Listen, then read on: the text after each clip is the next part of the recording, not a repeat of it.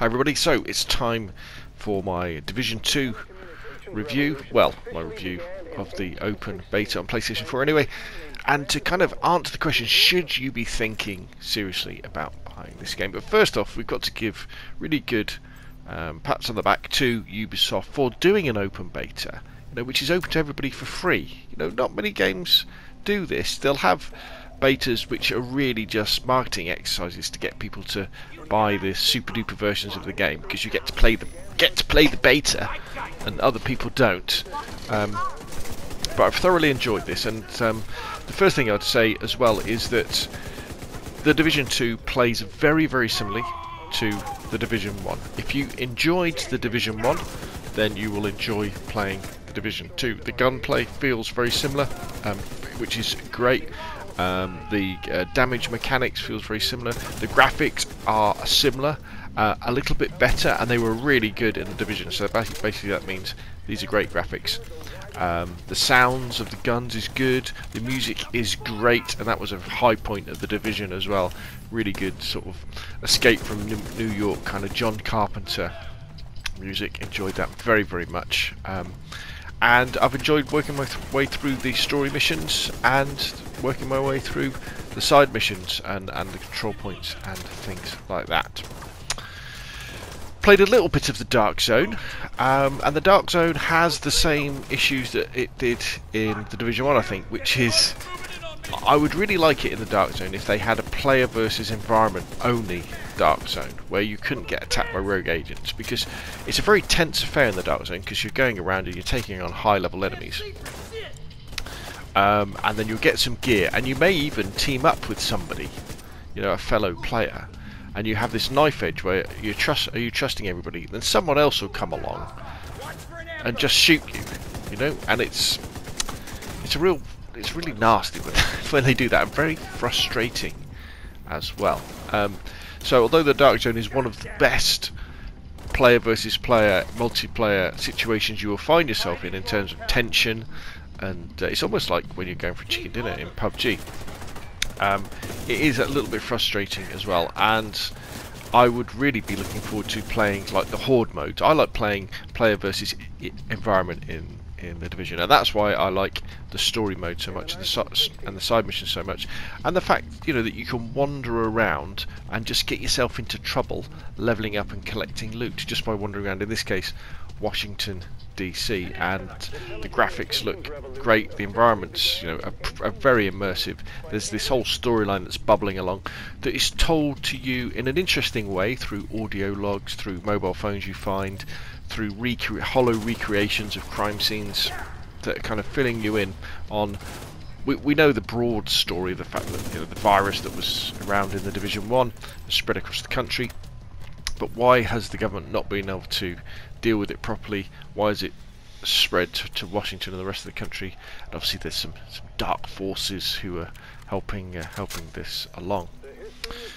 So reading between the lines, you'll guess that I'm pretty impressed with the Division 2, as I was very impressed with the Division 1 as well. So I would say that if you're a big Division fan, you know, if you spent hundreds, if not thousands of hours playing the Division, and perhaps you even still play it now, um, and have been waiting for the Division 2 to come out, I think you're going to be happy with this game.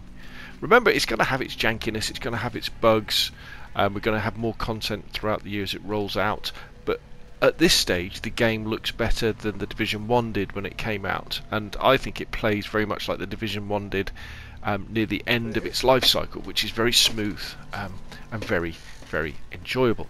And you will sink hundreds of hours into this game if that's you know if the division was, was your kind of cup of tea if it was your bag because there's the whole um, expansion system, the whole development, the whole ranking system, the whole leveling system, where not only now do you have a home base, but you have these settlements all around that you can level up. Um, there's control points to take over and maintain. Um, lots more going on. It's like the division with more of the division in it. And never make the mistake of thinking that this stuff is busy work because although it may seem repetitive to do these side missions and the, these different tasks over and over again, because the minute-to-minute gunplay and mechanics is so much fun and so enjoyable and so so uh, fulfilling, Um, it's great. Anything that gives you an excuse to go out and shoot more bad guys is is really good. And as I say, you will sink hundreds and hundreds of hours into that. If the division was a game you very much enjoyed, but it was a it was a secondary game, and that I pretty much fall into that camp in the fact that I came to the Division One I think about six months after it released, I picked it up cheap in the PlayStation Store and thoroughly enjoyed my time playing the single player in the Division, playing the story mode, you know, working my way through the streets of New York and then working my way um, to the end game and then leveling up and then replaying uh, missions to get get higher end kit, teaming up with other people. I really enjoyed that, but it was always a secondary game to me from the games of like Call of Duty or or Battlefield. Now we've got PlayerUnknown's Battlegrounds as well. We've got PUBG. So for me, although I think the Division 2 is really good, it will always be a secondary game to PUBG and hopefully it'll be a secondary game to Battlefield as well when Firestorm comes out when we have the Battle Royale for that. And I'm very, very much enjoying Battlefield 5 as well. So for me, the answer is should I buy it? No, not at the moment. I'm not going to buy it when it's new. I'm not going to buy it at its release price. I'm going to wait until it gets significantly reduced in price. Then I will definitely buy it and I will definitely play it. And I'm looking forward to that, even though I know it will probably be sort of six months' time. Say when it goes down to uh, £30, say. Um, it's pretty good as well that all the extra content that they're putting in in terms of missions and story missions, well, well, most of it is going to be free to everybody. The different game modes are going to be free to everybody, which is very important. And so that's what I'll be doing. Um, if you're watching this game though and you're thinking, I like the look of it and I, I like the idea of a third person cover based shooter, and although you might be a little bit confused about the leveling system, the RPG aspect of it, don't really worry about that. All you need to really remember is numbers go up guns with bigger numbers are better, armour with bigger numbers are better, and you can work your way through the, the missions like that, then I would say seriously consider the Division, especially if you're looking for a game. Um, I personally enjoy the Division more than playing games like um, Destiny, you know, those sort of shooter looters.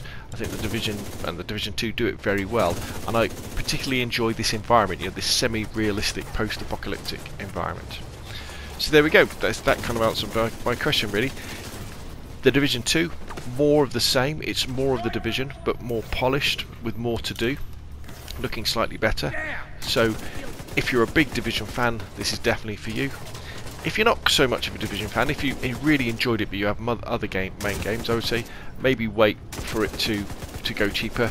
Mainly because you probably won't be that much interested in the PvP, and so being behind the skill tree of PvP, you know, as people learn to play multiplayer shooters better and better and better. If you come to the game later, it's more and more difficult to compete. You know, it's like if you were to buy Call of Duty Black Ops 4 now and try and compete at multiplayer, you'll find it very challenging because people have been playing it for sort of four four months, like with PUBG as well. But if you're more of a casual player for, for the division, like I am, where you're mainly going to be playing for the single player, I'd say wait for it to go cheaper, you know, save your money, get it then, and then the game will probably run smoother anyway because they'll have patched a few of the bugs and the glitches out. Um, and if you're generally interested in third-person shooters um, and first-person shooters, but haven't checked out the Division franchise before, definitely check it out because it is a very good and fun game. Um, so there we go.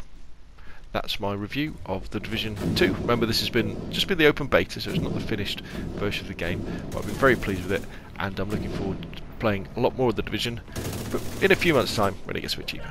Anyway, that's enough for me. Hope you found this useful. If you liked it, you know, hit the like button if you want to see more, then press subscribe. Thank you very much, and I will see you again soon.